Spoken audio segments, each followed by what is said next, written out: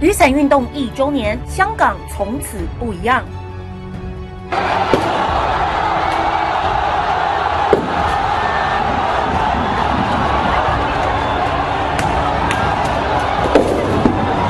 昨天是香港争取特首真普选的雨伞运动一周年纪念日，街头又能见到朵朵黄伞。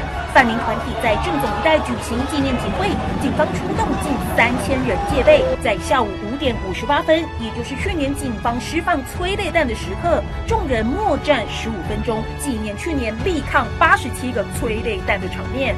多名领袖也到场讲述诉求。呢个其实只系香港人去继续去争取民主嘅一个起点。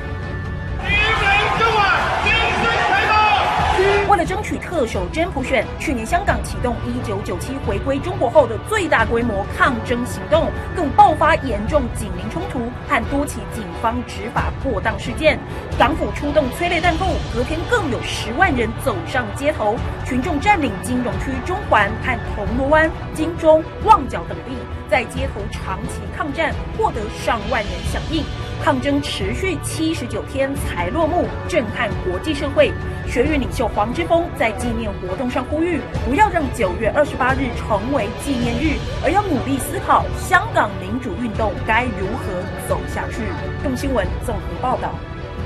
他们都是苹果日报的爆料公民，你还在等什么？每月两则爆料被采用，月领两万，每周点阅数最高，再送奖金五万元。现在就加入苹果爆料公民行列。